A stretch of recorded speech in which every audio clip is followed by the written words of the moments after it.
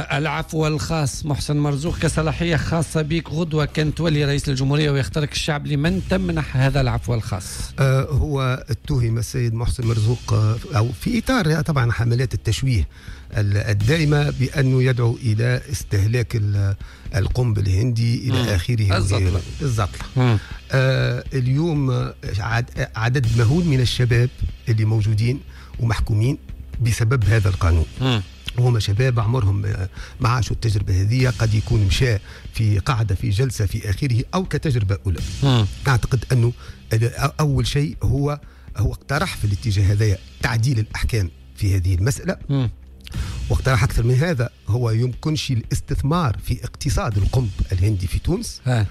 آه نتصور أن الإمضاء حول تخفيف العقوبات وفيما يتعلق تخفيف أو عفو خاص آه ينجم يكون عفو خاص طبيعا طبعا بحسب الاستهلاك بدرجاته أما المروجين.